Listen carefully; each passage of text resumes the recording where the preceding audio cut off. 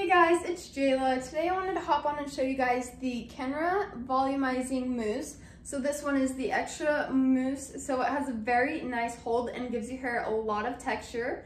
I've been using this one for quite some time. My sister actually uses this in her hair salon and she loves this, especially for styling hair because it holds the style into place throughout the entire day. She has done lots of wedding looks and lots of wedding hairstyles and she always uses this because it holds it in place throughout the entire day.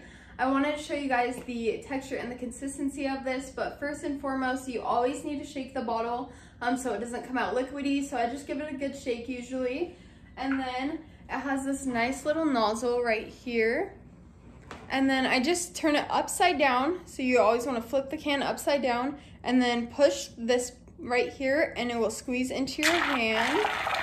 So I could have honestly shook it just a little bit more. This is a fresh bottle. I've gone through so many of these, but as you can see, it instantly foams up. So I obviously put way too much into my hand, but a little bit will for sure go a long way. So as you can see, you obviously don't need that much unless you have like an afro, you could probably use this much.